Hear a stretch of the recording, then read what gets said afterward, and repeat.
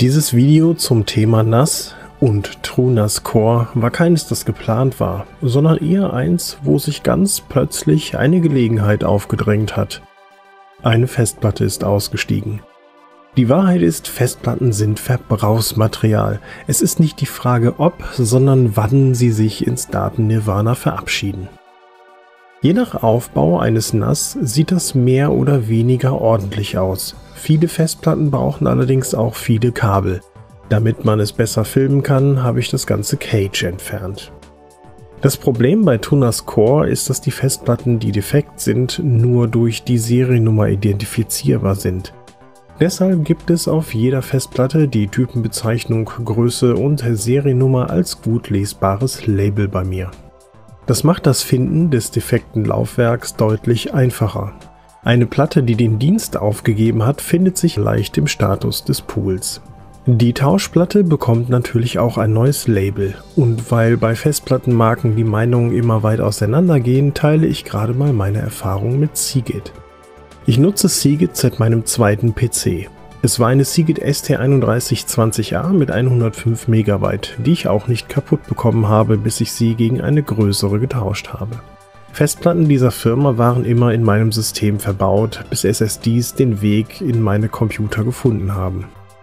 Hier habe ich inzwischen ein paar weniger bekannte Marken ausprobiert, aber auch Marken, die für gute Flash-Speicher stehen im Fotobereich. SanDisk war lange Zeit in der Black Ice BBS verbaut. Inzwischen nutze ich überwiegend SSDs von Crucial und einige NVMe-Drives sind von Corsair. Weder Crucial noch Corsair SSDs habe ich bisher kaputt bekommen. Die SanDisk hängt jedoch noch so an ihren letzten 60% Lebenszeit fest.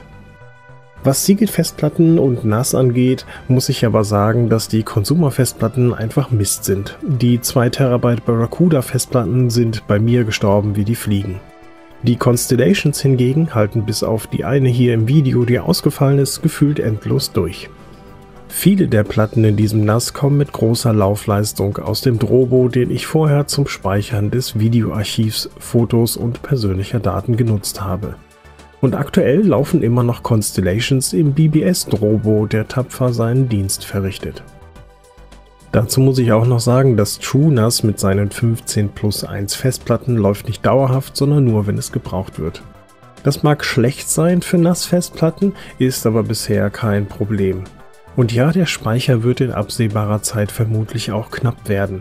Falls jemand 25 Terabyte Festplatten spenden möchte, bitte melden.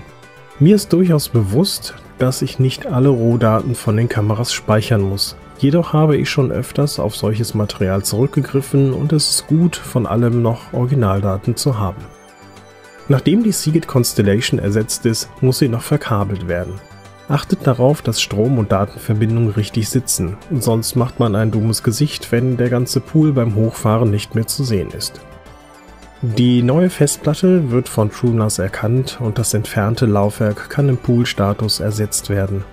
Zuerst hängt ZFS die Platte in den Pool ein und startet dann den Resilvering-Prozess. Hier wird das RAID wieder so aufgebaut, dass die nächste Festplatte kaputt gehen kann, ohne Datenverlust zu erzeugen. Dieser Prozess kann unterschiedlich lange dauern, hängt von der Größe und Geschwindigkeit der Festplatte ab. In diesem Fall hat es 3 Stunden und ca. 40 Minuten gedauert.